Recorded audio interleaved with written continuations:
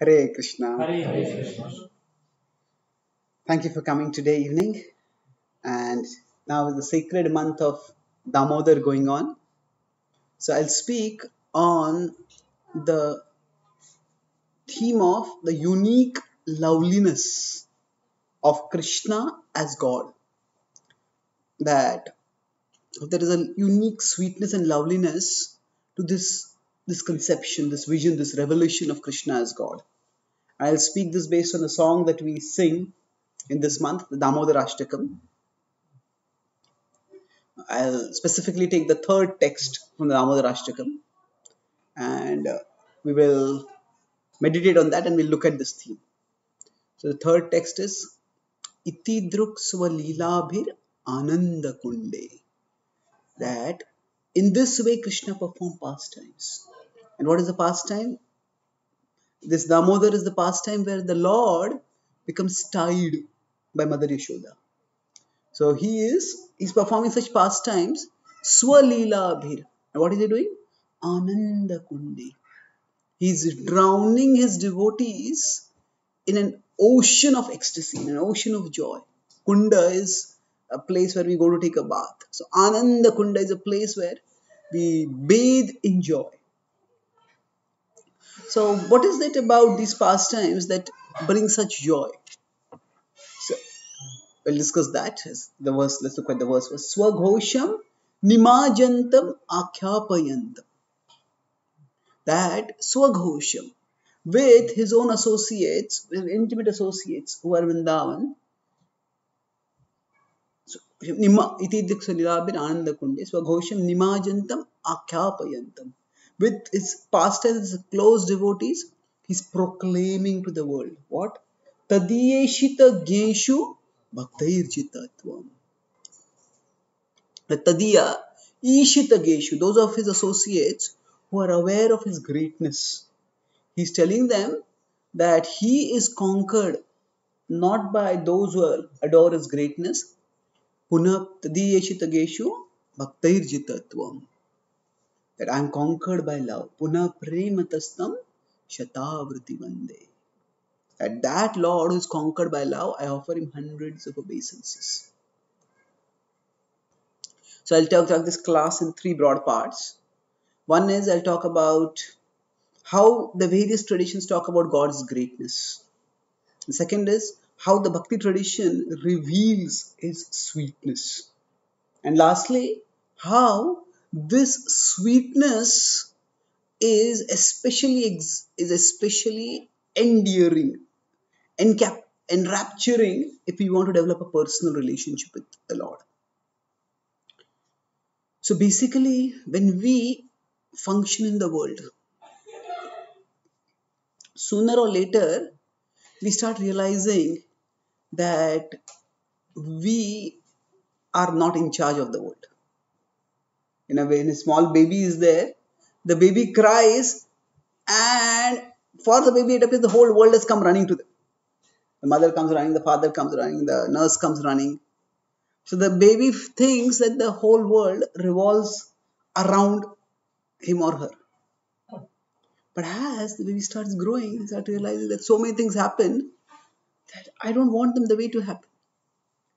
And over a period of time, we realize that our thoughts and our desires have very little consequence on the world. Suppose somebody was awake at night and we asked them, then deep in thought, he says, What are you thinking? Say, I'm thinking whether the sun should rise tomorrow or not. Whatever you think, the sun is going to rise. So yeah, now if somebody says like that, we will say that's absurd. What is the use of thinking like that? But many times our thoughts are like that. We think about so many things over which we have so little control. We think, oh, okay, in the Indian elections, which political party will win? Or in the Cricket World Cup, which country will win? Well, how much control do we have over that? So, over a period of time, we start realizing that we are not in control.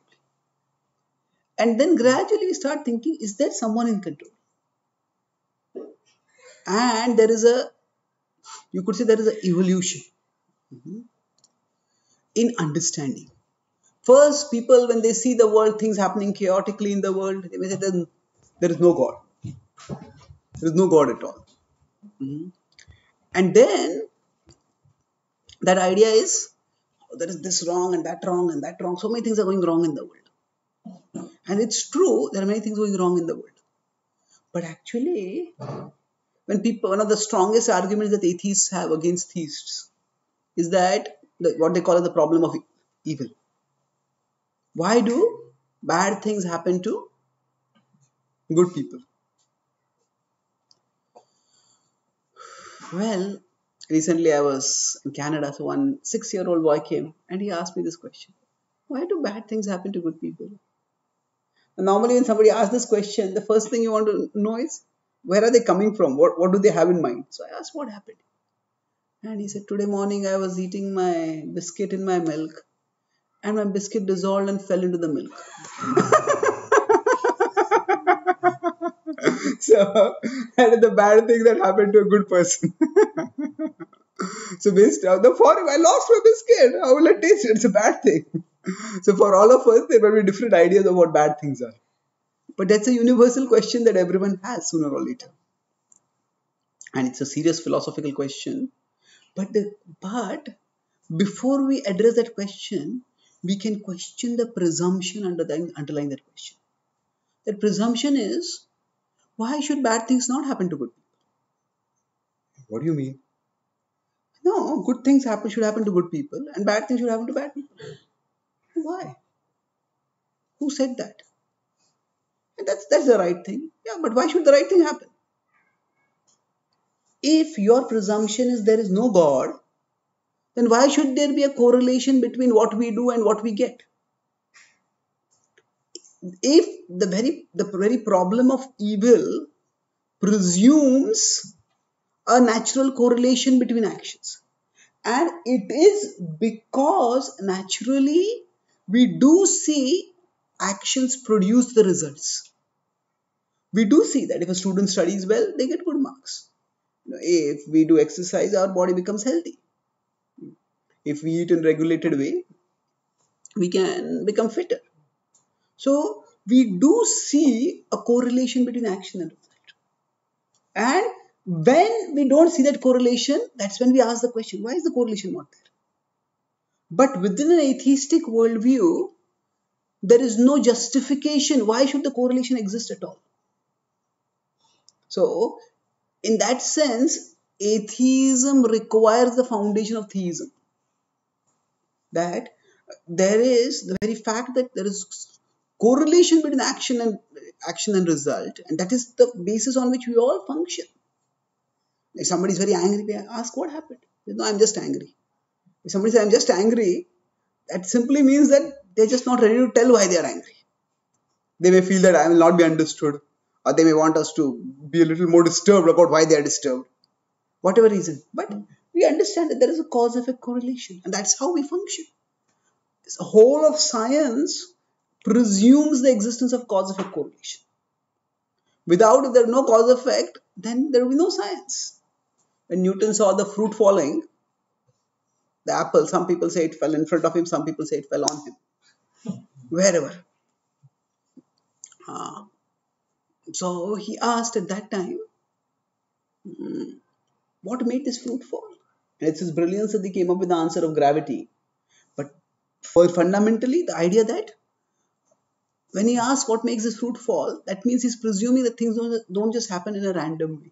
They happen in an orderly way. And what is the pattern of that order? He was trying to find out. So that's the basic point that uh, we when we look at the world we may say oh things are not happening according to my plan and we may think there is no god there's no order but if we think a little more deeply blaise pascal said pascal said that a little of science takes people away from god but immersion in science brings them right back to god brings people right back to god so we start realizing there must be some god can we have questions toward the end sure. yeah. so so then from now people may say, okay, things are in charge. Maybe there are different people in charge. That so there is no God. From that, there might the next step might be there are many gods. So there's atheism. And what is the word for there are many gods? Polytheism. Polytheism. Yeah. And then, uh, okay, there are so many things in control, and how can one person control all of it? There must be many, many, many, many people in charge of many, many different things. Now, polytheism is a reasonable inference because the world is very complicated. But then the problem would come that if there are many, there is the, there is the Greco-Roman tradition, there is the idea of many gods, and then all these gods are very territorial, and they are all fighting for their turf, and the universe would be chaotic. So we do see. So if we evolve further, then we say, okay, there are not just many gods. There may be many gods with a small g, but there has to be someone who brings order to all of it. So then there is one God. That is what? What is the word for that? Monotheism. So, poly, so atheism, polytheism, and then monotheism. Now, uh, in this way, gradually we start perceiving that there must be some some person, uh, some some some controlling principle, and if that controlling principle is coordinating everything in the world, then surely must be awesome, huge, extraordinarily powerful. And thus, through natural theology, natural theology means an understanding of God that is, that is derived from observing nature. We understand that in nature there are forces far bigger than ours. So, through that, we start gaining a reverential conception of divinity. That there is some divine being who is far, far bigger than me. And so when we, especially if we live close to nature, then we regularly see powers which are far greater than the powers of, of our own. People may build a whole civilization, and one earthquake occurs, everything is over. People may build a whole city next to a next to a coast, and one tsunami comes and everything is gone. And we see this kind of changes have happened in history. So then we start understanding that this nature and whatever is there above it, that can make or break my life in one moment. And therefore, I need to be reverential towards it.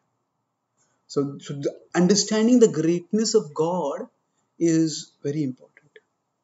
And then that leads to okay, then what do I do? I try to live in harmony with, with that divinity. I try to live in a way that won't provoke that divinity. I will try to live in a way that will appease that divinity. And then different traditions have come up with different ideas of how to propitiate the divinity. But this is important to uh, understand that actually there is a power far greater than mine, and I have to be careful. So in the Bible, it is said, Fear of God is the beginning of wisdom. There is a power far bigger than me that can break me at any moment. So let me be careful. And it is said that if someone doesn't have fear of God, that is the person we need to really fear. because if somebody has fear of God, they will have some boundaries. If I if I do something which is which which will make which will make God angry, then hell can descend on me. So fear of God is the greatest civilizing force in the history of humanity. We can have police as a civilizing force. We can have we can have various law enforcement agencies. They can civilize, and it's all important. It's essential. But the greatest civilizing force, ultimately, you can have police who supervise citizens, but then who supervises the police? And even if you have somebody, whom do you supervise that? So you cannot unless there is some some understanding of some overseeing divinity. What is the reason for people to stay civilized? We all have impulses. We all want uh, pleasures. So this understanding of God's greatness is not to be trivialized. It is something which is very important, and that is what civilizes people. Now, have so this is this is the understanding which is been talked about in practically all the religious traditions of the world. even in the Vedic, even in the Vedic tradition, even Bhakti tradition. We have read in the Bhagavad Gita in the 11th chapter, Arjuna sees Krishna's Virata Rupa. And when he sees that Virata Rupa, that form is, it's called Vishwarupa there, but it's also Virata, it's huge. And Arjuna was treating Krishna as a friend, that mood suddenly changes. In English, there is not much gradation with respect to respect. With respect to respect, what that means is that in Hindi you have a second person reference as tu, which is you can use with ordinary people. And if somebody is very respectful, what is second person reference? Aap. So in Sanskrit you have tvam and you have bhavan. So in English we just have one common word you. So if somebody calls us, so who's there? And then it's our boss speaking. Oh yes sir, yes sir we will change immediately because so what happens? Arjuna even when he surrenders to krishna he uses twam pruchami twam dharma sammudachita but when krishna exhibits his universal form and then he asks akhya hi meko bhavan ugra rupo.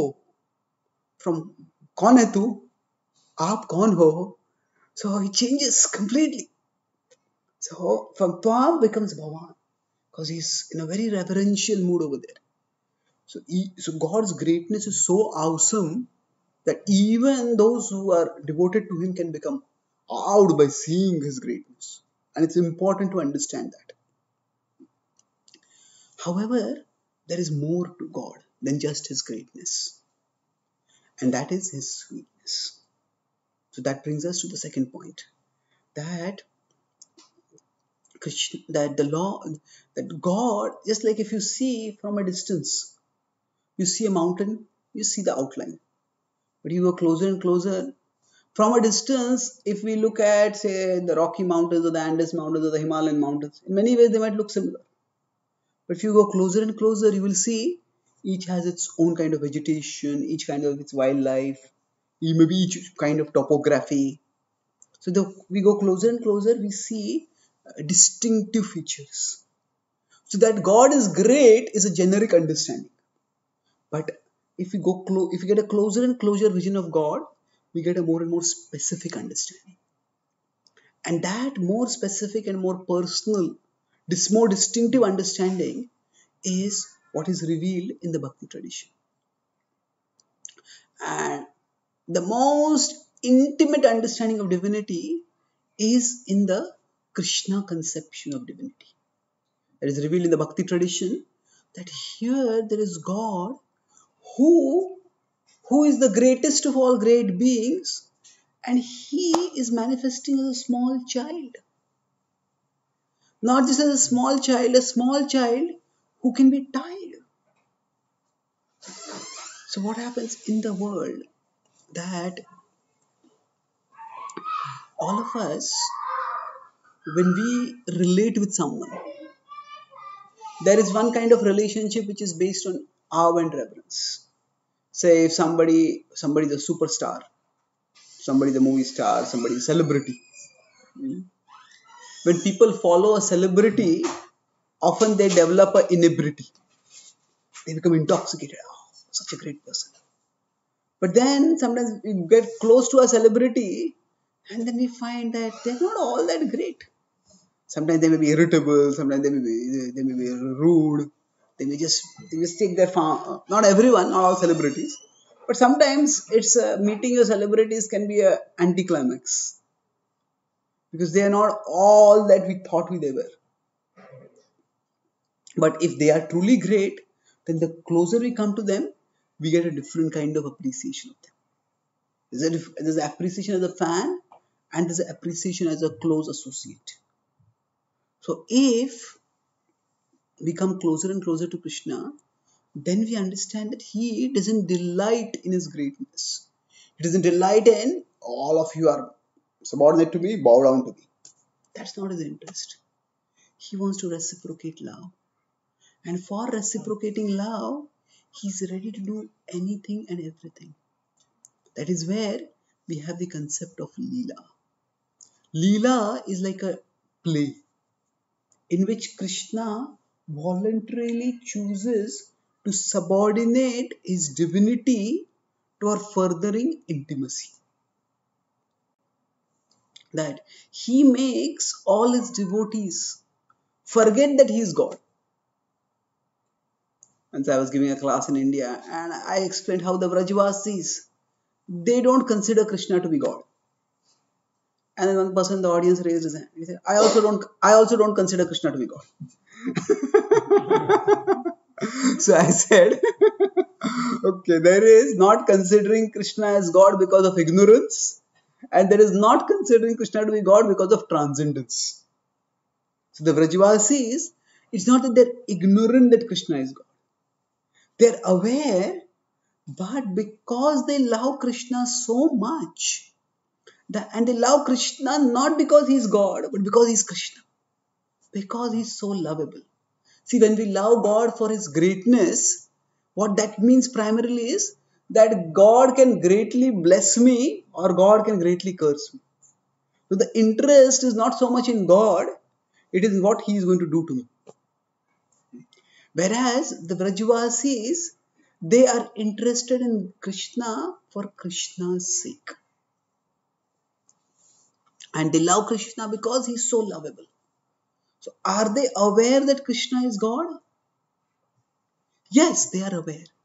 But that is not prominent in their awareness. It is like in the daytime also, there are, there are stars in the sky. But the sun is so bright that the stars can't be seen. Similarly, for the Vrajavasis, their love for Krishna is so great that is like the sun. And the stars are like the knowledge of Krishna's divinity. It is there, but it's overshadowed. So we see this intense dynamic. The gopis, for example, in the Gopi Gita, they pray, they, they are meditating on Krishna's lotus feet.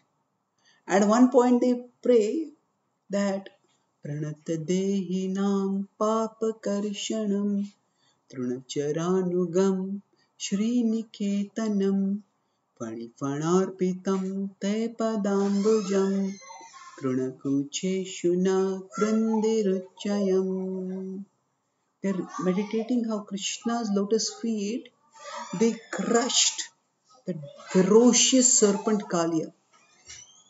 Kaliya was able to not just bite and kill just by the by by his presence the toxicity was so much that birds overhead would die fall and die and that kali was trying to bite krishna and krishna with his with his feet when he danced on kaliya kaliya felt those feet to be like thunderbolts pounding on his woods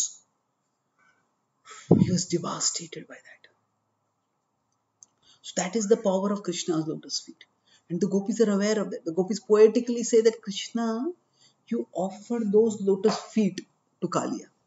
Fani, Fana, Arpitam. Fani is the one with hoods.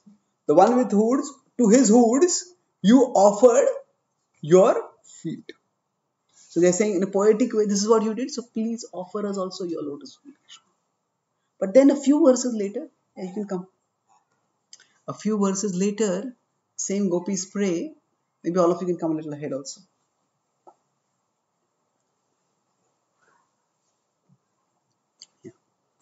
So a few, few verses later, the same gopis pray. Nalina Sundaram Nathate Padam Shilatrunankurai Sidatiti Kalilatam Kanta Gachati. They're praying that Krishna, your lotus feet are so tender. They are softer than the softest lotus petals. And when we think that you are walking in the forest of Vrindavan and the twigs, the pebbles, the brambles, they are piercing your feet. Thinking that your feet are being pierced, our hearts are being ripped apart, Krishna. Please come back.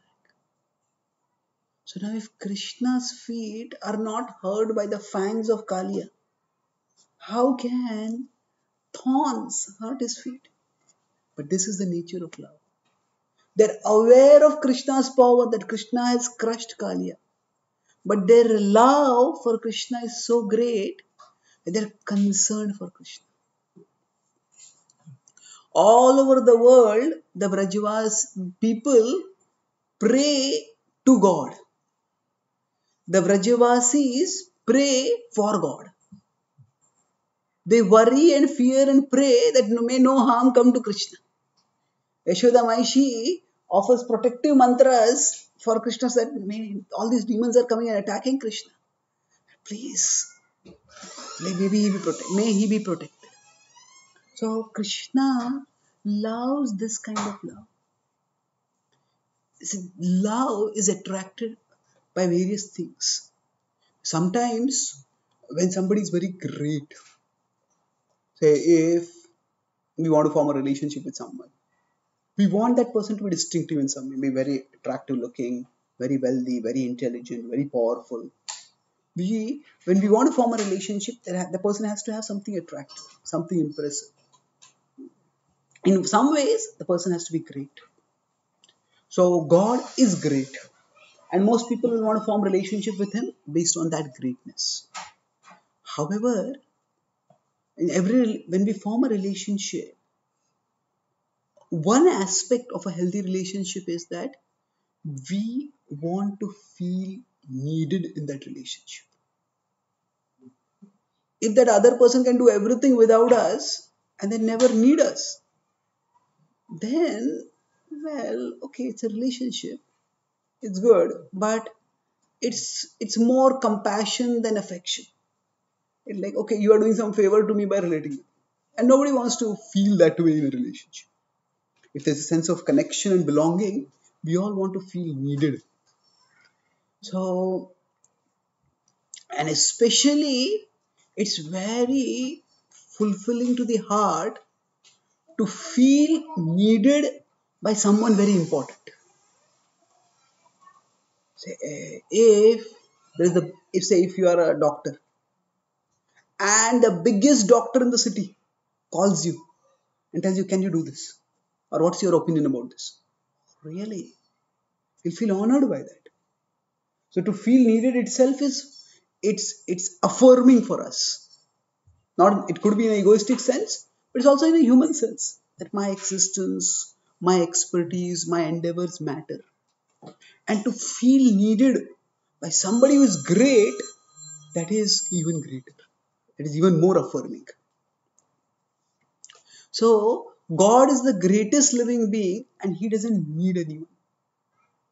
But when we relate with him, he doesn't want us to feel like redundant appendages to him. And, okay, you want to be here, you be here, I don't need you.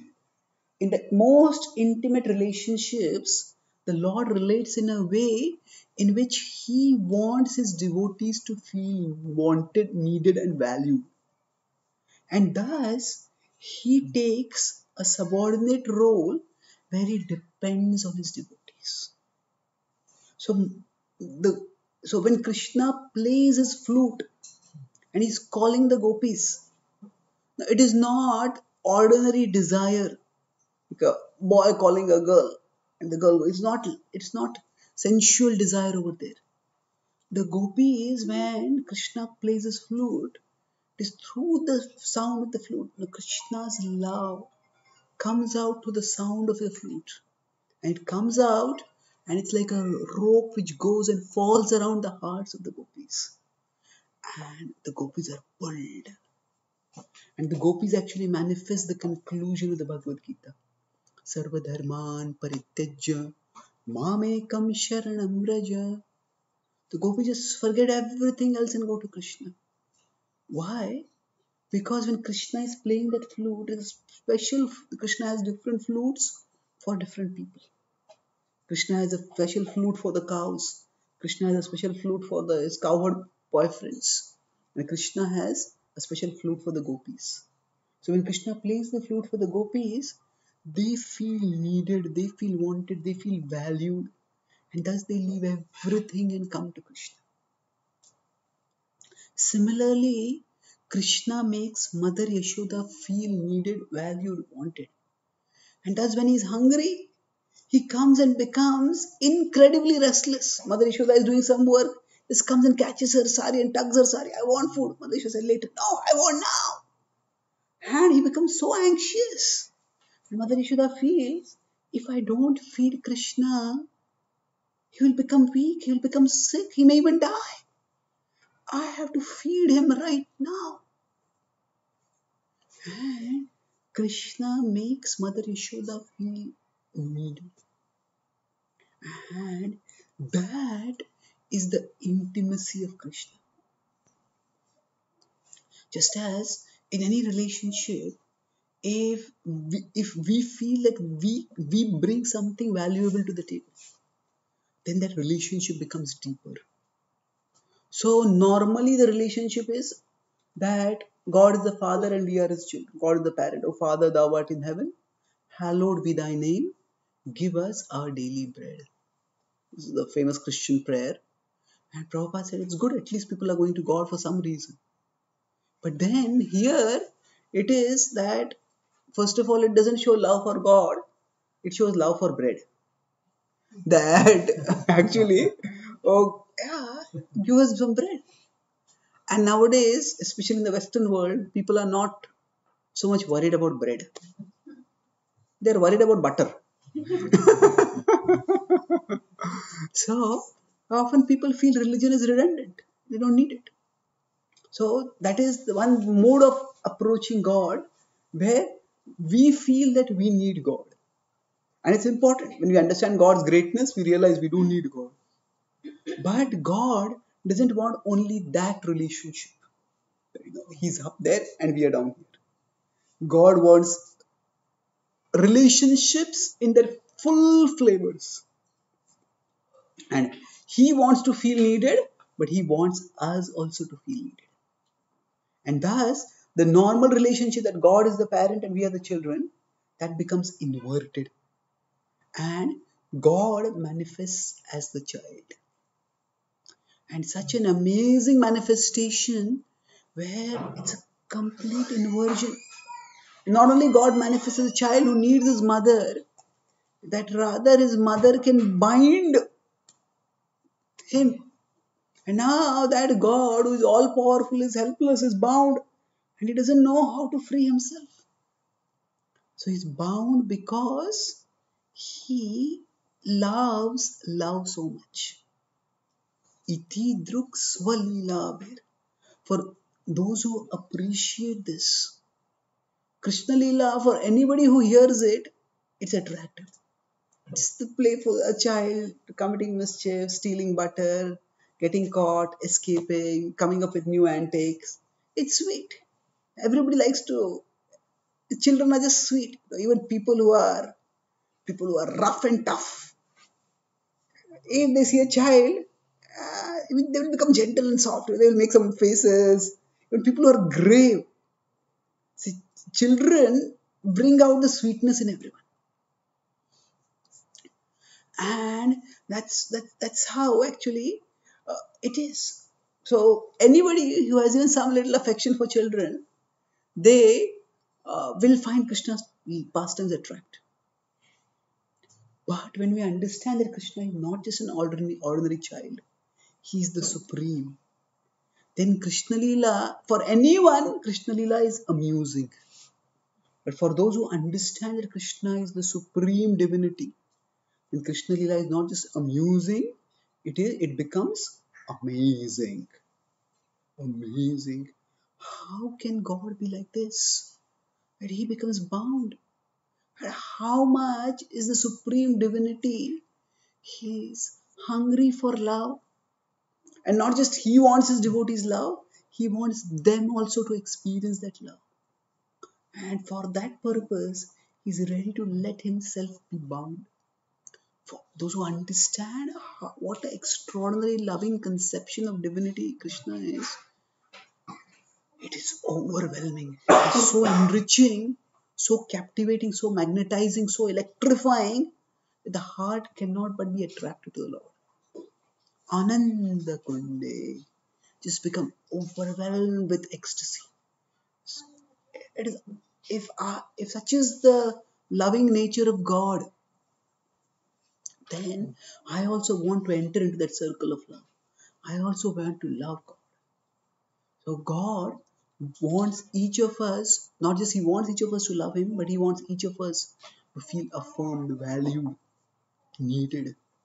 And thus we have a complete relationship with him, not just a unidimensional relationship of reverence and worship.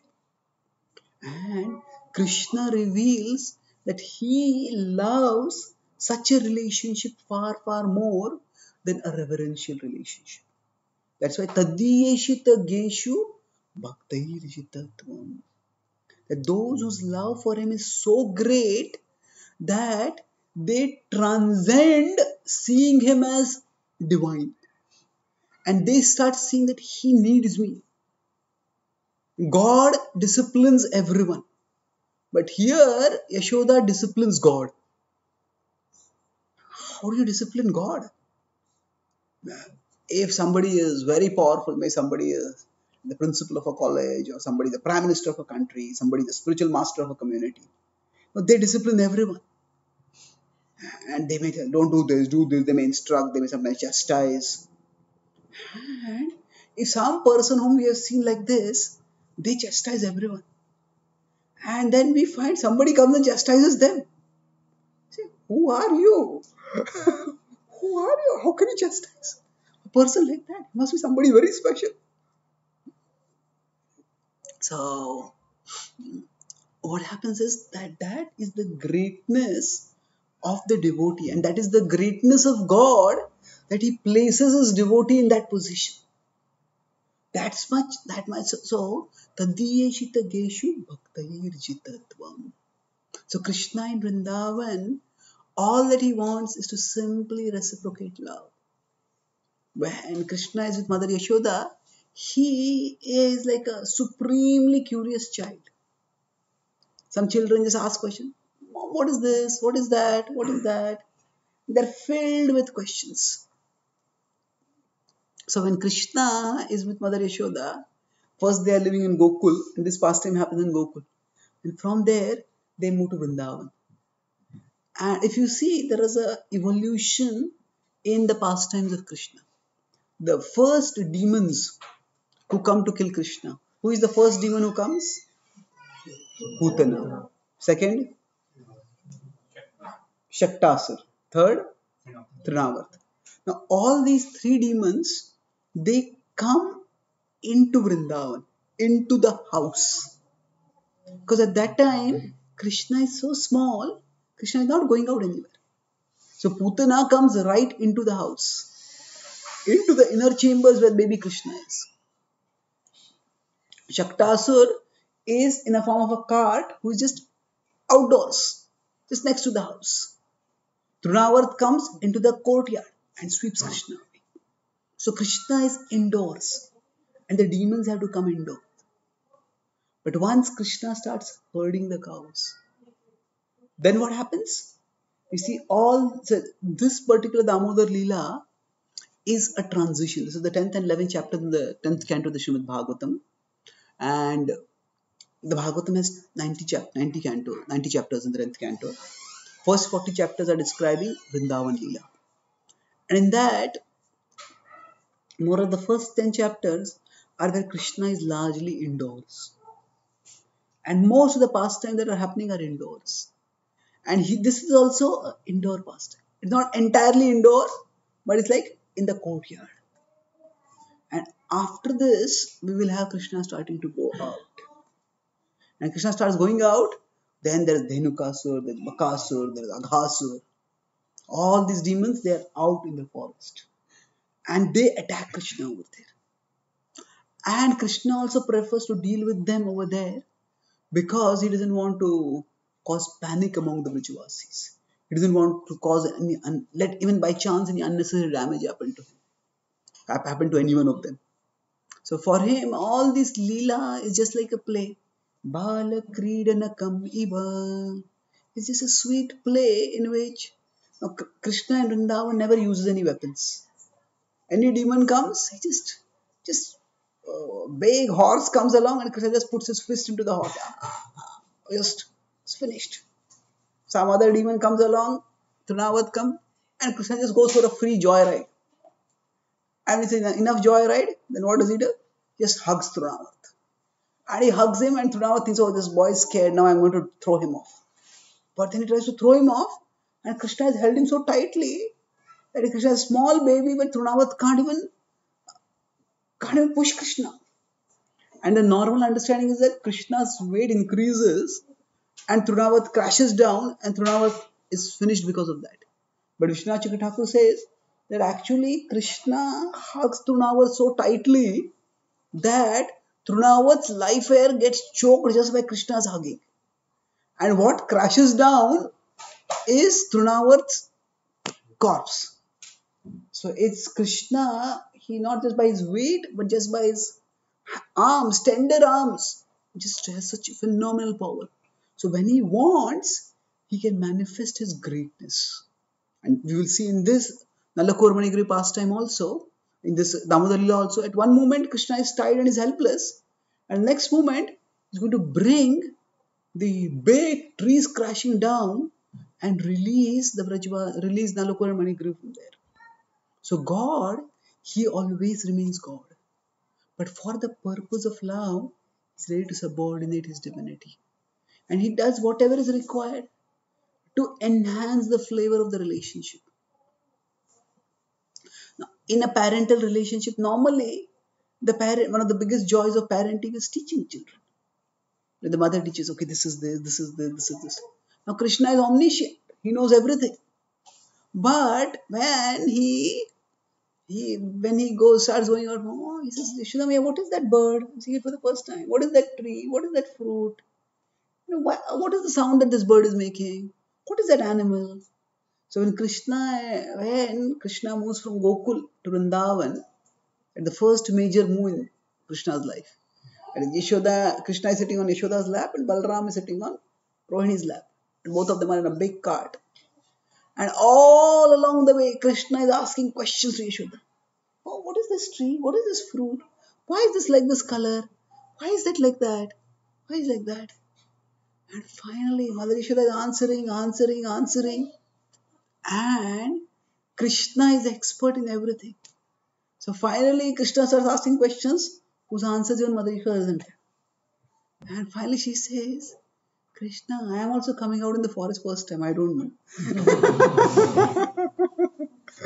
so, Krishna, he, when he is going to act as a child, he acts like a perfect child. Perfect child doesn't necessarily mean that he's never mischievous. But perfect child means all the flavors of motherhood, of fatherhood, that a parent may want to relish Krishna lets his mother and father experience all of them. So sometimes he's very sweet and obedient. Mother Yashoda asks, bring Krishna, bring Nanda Maharaj sandals. So Krishna goes and picks up the sandals and put them on his head and brings them. And sometimes by his obedience he pleases them. Sometimes they ask him to bring a big box and Krishna goes there. Krishna tries to pick up the box. He can't pick it up. And then he has seen Vrindavan is a is a, like a small town. So he has seen wrestlers wrestling. So Krishna then starts slapping his arms. He slaps his thighs. And then he again moves. And then Mother Yashoda and the Maharaja watching. And then he moves again and moves again. And he can't move. And then when he realizes he can't move, he becomes he becomes embarrassed. And he runs and hides his face in Mother Yashoda's sari and his parents are delighted by that. And sometimes Krishna, he so he delights by his parents, sometimes by his obedience, sometimes by his inability to do certain things, and sometimes by his mischievousness. So he is the perfect child means he enables his parents to experience all the flavors of uh, flavor, all the flavors in the relationship of parenting and thus he is the perfect child.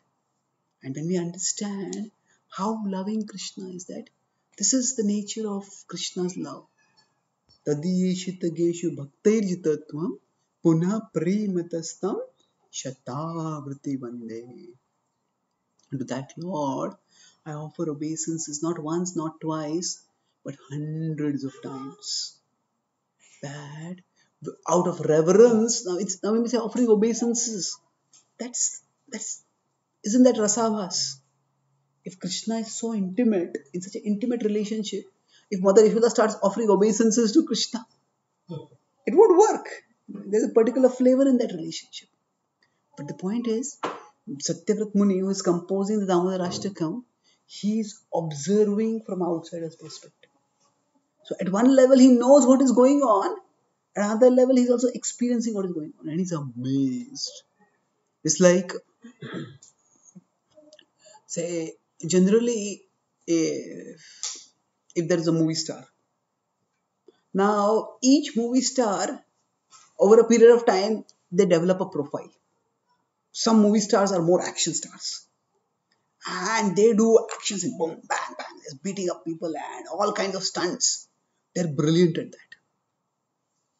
But so now, if we know the person and if they're also like Mako people in their real life, and then they do a action star, action star role, that's that's that's the way they are. We appreciate them, but that's the way they are.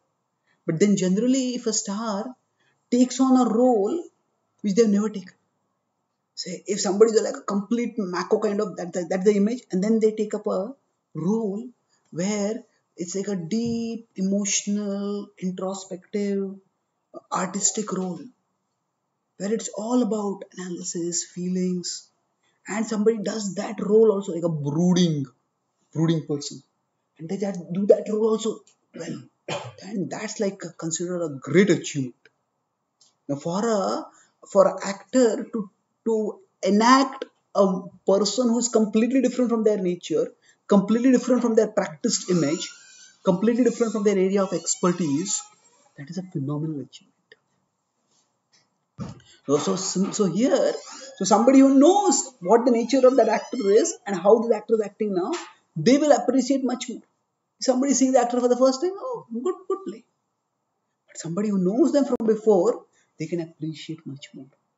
So somebody who appreciates Krishna's divinity and knows how great Krishna is, and then they say how Krishna is playing this role of a small child. That is irresistibly captivating. Now, how can God, how can God be so hungry for love that He's not only just having intimate relationships, He's having intimate relationships when He who is the supreme independent, He on whom everyone depends, He becomes dependent on someone. That when we see that love, so what happens? Satyavrat Muni is astounded and his appreciation for the Lord is increasing.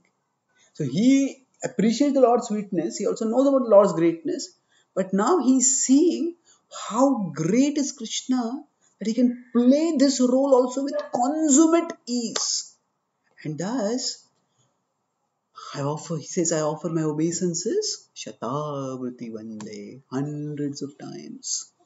So this is the vision of divinity that we have in Krishna. And if we can both philosophically and devotionally appreciate Krishna, then we can so easily become absorbed in Him. We can learn to connect with Him. We can, our heart will be attracted to Him. We will want to love Him. We'll want to become connected with Him. And in that connection with Him, in that absorption in Him, is life's supreme enrichment. There is no satisfaction in the world which can compare with the satisfaction of devotional absorption in Krishna. Sukhataram aparam na jatu jane haricharan smaranamrutena tulyam. There is no joy that compares to the joy of the remembrance of the Lord, of absorption in the Lord. That's Mukundmala Stotra, and that's what Mukundmala Stotra saying, and Satyavrat Muni will also say this in their future verses. I just want to meditate on you, O Lord. I don't want anything else to remember, just you and you alone. That is our aspiration. When we practice bhakti, when we in this month of Kartik try to do some bhakti, some kind of service to Krishna, we want to aspire to take baby steps at least towards entering into that world of ecstatic love. And for all of us, there is that opportunity. Krishna sent Srila Prabhupada into this world. And Srila Prabhupada, he was Krishna's empowered representative. But Srila Prabhupada made all his followers feel needed, feel valued, feel wanted. Prabhupada was so potent. By his purity, he could have transformed everyone. But Prabhupada engaged devotees and he made them feel you are all sent by my spiritual master to assist me in sharing this, Krishna's mission all over the world. So, Krishna in this, we may not feel that Krishna in the spiritual world needs us, but Krishna in the material world, Krishna's mission, Krishna's mission of compassion in this world that needs us. Each one of us can play a role over here. Each one of us can contribute in whatever way is possible. There are so many services to do. There are so many ways we can use our financial abilities, verbal abilities, physical abilities, social abilities. We can speak about Krishna, we can invite others to come to Krishna, we can help in the temple. And in all these ways, at one level, Krishna doesn't need us. Krishna can do everything on his own. But Krishna's mission in this world gives us the opportunity to feel needed, to feel valued, to feel wanted. So if we get an opportunity to serve Krishna, we shouldn't see this in a utilitarian way. That sometimes somebody comes and asks us for service, and then we think, couldn't you find anyone else? You just ask me now. But you know that it circumstantially it might be like that, but that is only a very external vision. Transcendentally, it is Krishna who is asking us to do that service. You see, service not as a burden but as a privilege that we have the opportunity to serve. That although Krishna doesn't need anything, Krishna is ex- inviting us to an intimate relationship with Him in His mission of compassion here, where we feel needed, wanted, and valued. And if we can take up responsibility in Krishna's mission, the spiritual advancement happens not just by chanting Krishna's names or by coming for satsang programs, all that is wonderful. But our spiritual advancement is directly proportional to the amount of responsibility that we take. That means we feel needed and we take up responsibility to things, even if it's a small responsibility. Okay, I'll come to the temple and I'll clean the temple. I will come to this program, I'll cook for this program. I will invite these many in this sacred month of Kartik you know, I will invite this many people to come at least once to a temple and offer one lamb to the Lord. I will arrange people to come to my house and do a Karthik program. Take some responsibility. And if we do that, we will find our relationship with Krishna will become much deeper, much richer, and much sweeter, even while we are here in this world. So, this is the pastime which is high up here, but by Srila Prabhupada's mercy, in this world, we can experience a glimpse of that pastime. And we too can gradually enter into that deepest arena of the highest love by our small steps to serve Krishna responsibly in this world. So I'll summarize what I spoke today, and then we can have a couple of questions if there are any. Mm, I I spoke today on this theme of the unique loveliness of the vision of Krishna as God. I talked about first appreciating God's greatness. Initially, we think that I am God, I'm the boss, I'm the controller. Then we realize I am not the controller. So many things go on without my will or consent. Then we may think everything is chaotic, there's no God. Uh, the problem of the atheists are at that level, and they often use the problem of evil. But then we see things are orderly, and that's why when sometimes things are disorderly, we ask why are they disorderly. So then, from I am God, the evolution is there is there is no God. Then, then there is there are many gods. That's polytheism. So then, for polytheism is monotheism. That there is one God. There may be many controllers, but that the, there is coherence in the universe, cosmos. So there must be one supreme being. And how great must that being, being be if he is able to make sure that everything goes well all over the universe? And thus we develop greatness for God, the appreciation for the greatness of God. That this great being can make or mar my life in one moment. And therefore, let me be respectful to him. Let me not do anything to displease him. So, fear of God is the beginning of wisdom. Fear of God is the greatest civilizing force in the history of humanity. At the same time, that is like a distant vision, like seeing a mountain in outline. But we can get a closer vision of God. And that is revealed in the Bhakti tradition, where we have God in his personal dealings. He doesn't just want to display his godhood, but he wants to relish the full gamut of relationships and he wants his devotees to relish the full gamut of relationships. So the normal relationship is God is the father and we are the children and we need God. But God wants us to have a relationship where He needs us and we feel needed by Him.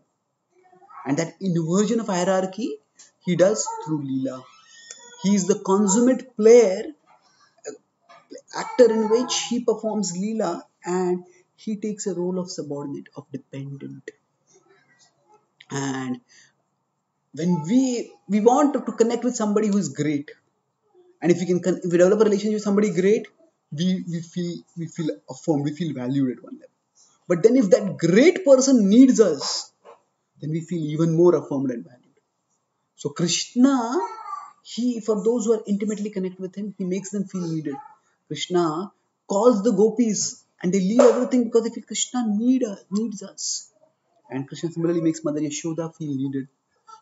I need food i need right and God disciplines everyone, but Mother Yashoda feels that if I don't discipline Krishna, Krishna will become an unruly boy, and therefore I need to discipline him. And Krishna inverts that hierarchy completely. And not only that, Krishna is a perfect child. Perfect child doesn't mean that he's perfectly obedient all the time.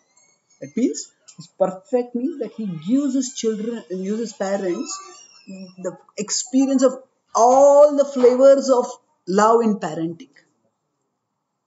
And thus he is the he is the perfect child. And Krishna is such a loving God that we may initially just if we hear Krishna Lila, we may find it amusing. But if we understand who Krishna is, then it will be amazing. And if this God loves love so much, and I can offer that love, a drop of that love, I can enter into that world of love it becomes an irresistible, irresistibly inviting vision of divinity. And we may feel this is why high up, but by Krishna and Srila Prabhupada's mercy, when Krishna manifests a mission of compassion in this world, we too can feel needed, valued, and wanted over here. And if we reciprocate with Krishna extending that opportunity for us to feel needed by taking responsibility in his mission, then even with our conditionings, in our present worldly conditions, we can experience a deeper, richer, and sweeter connection with Krishna. And thus we can gradually progress towards the ecstasy of absorption in Him. Thank you very much. Hare Krishna.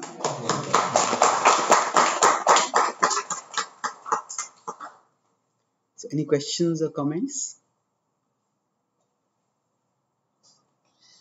So, I had one question at the beginning when you were talking about like when bad thing happens to good people so what is the definition of a good people? I was thinking in another perception, like you gave an example of uh, um, why bad thing happens to the good people, but the people who are thinking, they might have a perception that, that they might have different perception of being good.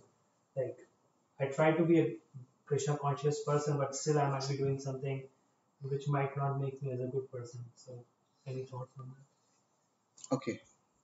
So different people may have different conceptions of goodness. So I may be a devotee and still I may not be doing something which I, may not be doing, doing something which is not good. Or people may feel that I am doing something which is not good also. Yeah. There is there are broadly two visions of ethics. Ethics is about right and wrong. There is categorical ethics and contextual ethics. Categorical ethics is that this is right, this is wrong, and these two are are non-negotiable categories. That's one understanding. Another is contextual ethics. Yes, there are categories of right and wrong, but you have to look at context. So speaking truth is good, speaking falsehood is bad.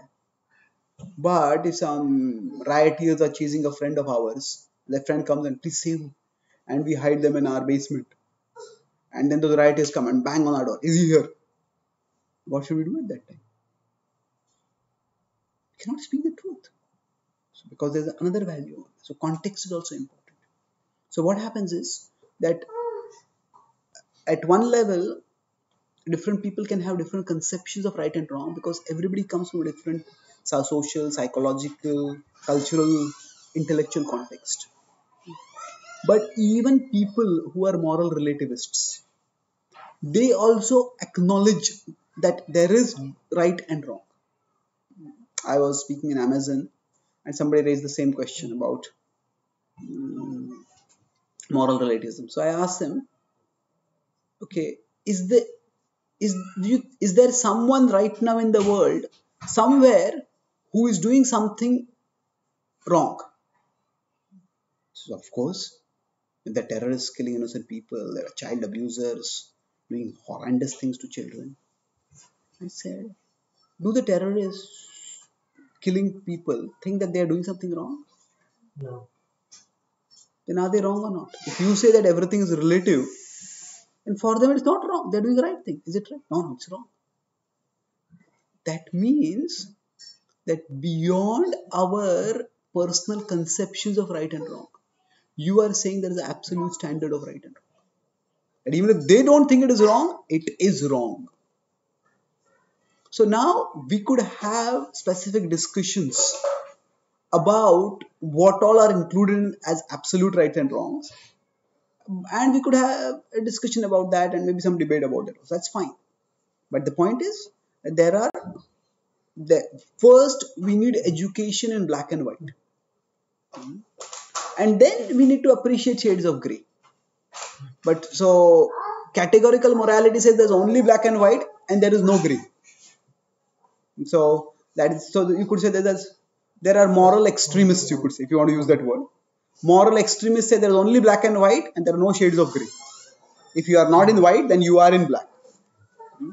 But then other moral extremists, the moral extremists are on one, one side, there are the moral relativists, moral relativists who are on the other side, and moral relativists say there are only shades of gray. There is no black and white at all. No, that is also not, not right. There is there are black, there is black and white.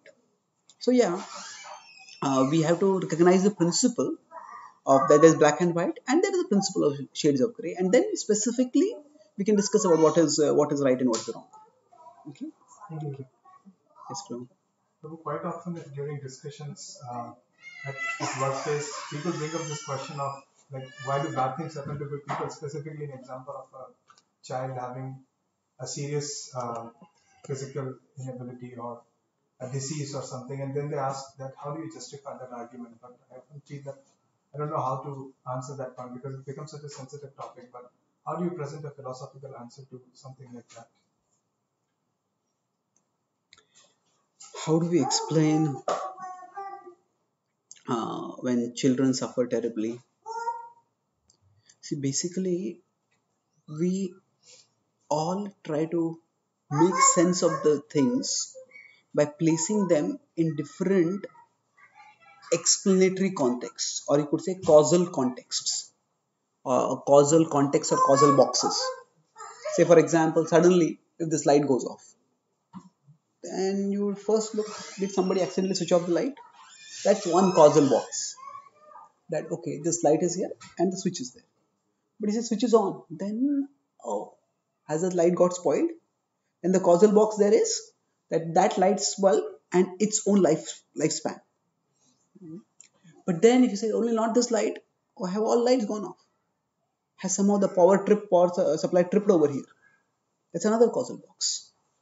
Or you could say, hey, maybe you know, terrorists have attacked America and power plants all over America have collapsed. So you could just light going off here, you could escalate to terrorist attack on on America. Or you could take it further and say that if a solar flare comes from the comes from the sun and comes too close to the Earth's atmosphere, then while the solar flare is passing through the Earth's atmosphere, all electrical devices on the Earth will stop working. So you could say the stability of this light depends on the stability of the sun. So now you could escalate the causal box to that level also.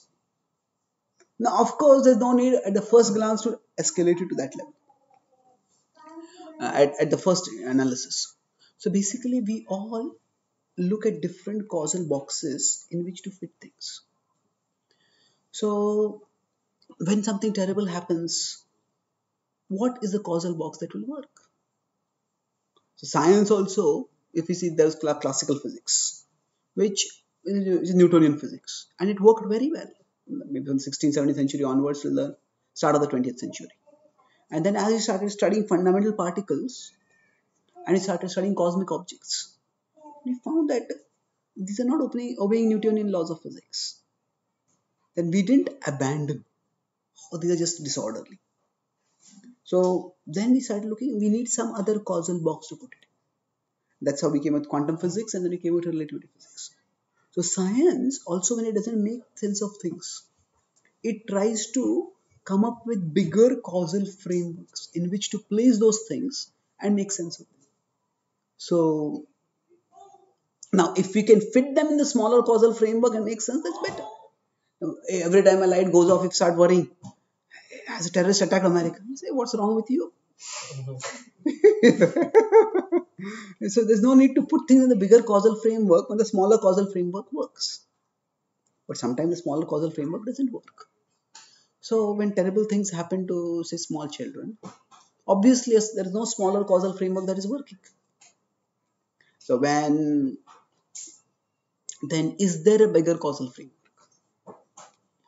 So one bigger causal framework could be that things that happen to us in this life are not just determined by our actions in this life. We carry over things from a previous life. And we see that there is diversity in the starting points that we get in this life. Some children are born with uh, in very wealthy families, some are born in very poor families all, all of you are in America, you know, all of you, if you are not look from material perspective, all of you were at birth winners in a genetic lottery.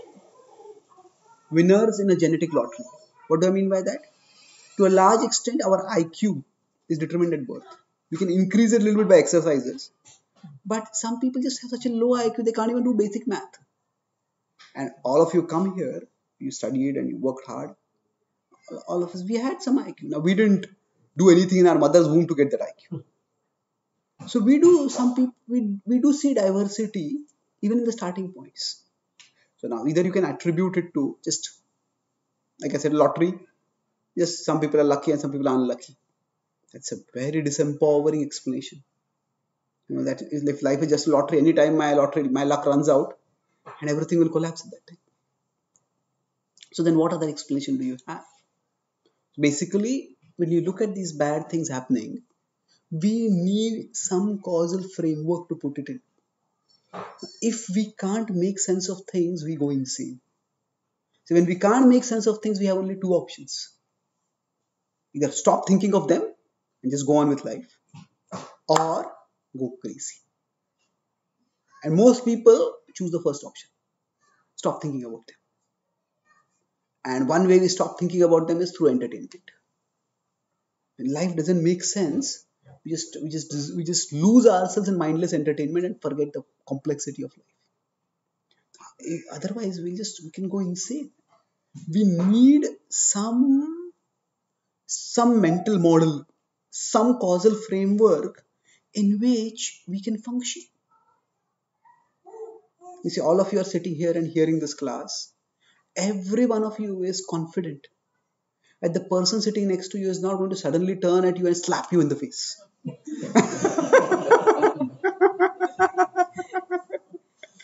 now, you could say it's possible, you know, people can go do crazy things. But imagine throughout this class, if you're worried the person next to you is going to slap you, you wouldn't be able to attend, be attended the classes. So, we need some structure in our life to function. Just as we need some physical order, we need some intellectual order also in our life. So we need meaning. So now, if you want meaning, what options do you have? Basically, one option is things are just chaotic, and we are just some people are lucky, some people are unlucky. Now, that is not the way we function in life. If say, if some, even the greatest atheist, if that atheist uh, says that you know, their child gets poor marks in their exam, they will ask, what happened? They may be proponents of chance theory, But if their son, child comes and says, by chance I got bad marks, they will not accept that. I want to know the cause. What happened, isn't it?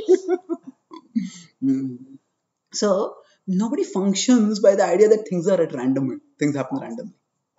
The other idea could be basically broadly we have only three causal frameworks in which we can put in. First is just things happen by chance and we are some people are unlucky. Second is God is cruel. That that God is cruel and God is biased against some people. Well, you could put it in that framework, and some people have done that. But then, then you can also say God is kind to some people, isn't it? Then why is He kind to some people? Well, He's arbitrary. Well, if He's arbitrary, then why isn't everything in life arbitrary? Why are some things orderly? So even that causal box doesn't really make much sense. A third causal box could be that maybe we are carrying over actions from our previous life, and there's some actions which are good, some actions which are bad, and sometimes things happen that way.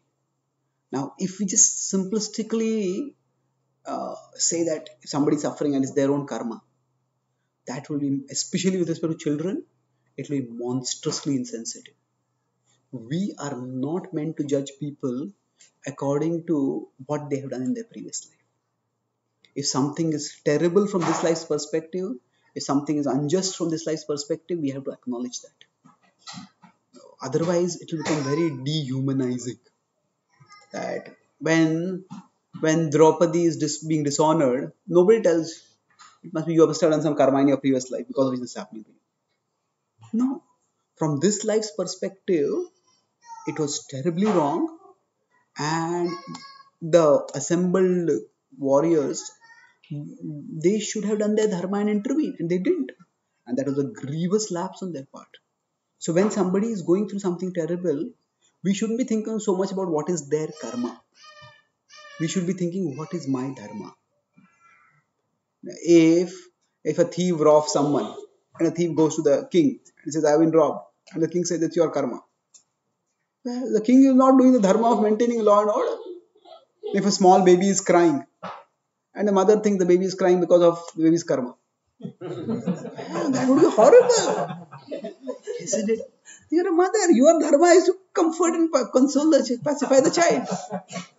So, now with respect to things like this, we obviously understand this. We don't. The baby is crying. We won't put it in the causal framework of the child of a baby's karma. Sometimes it may happen that despite our consoling the child, despite our giving some medication, still the child remains sick. And then we might have to put it in that causal framework. But so we, if we use karma casually to trivialize people's sufferings, oh, that will be monstrous. We should never do that. At that time, since we should see what is my dharma, how can I help? And sometimes, as a part of helping, we might give knowledge of karma. But karma should not knowledge of karma shouldn't be the shouldn't be the explanation that we toss insensitively.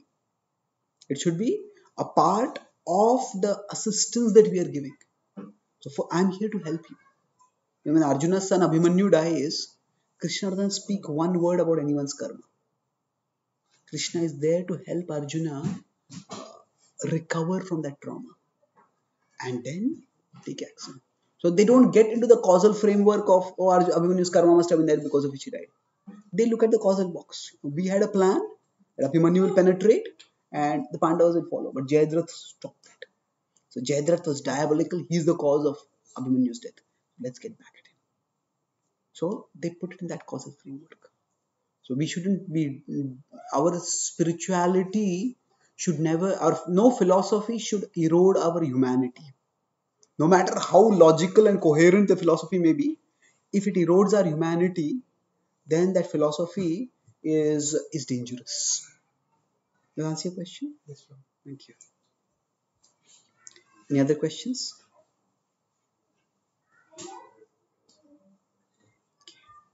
So thank you very much.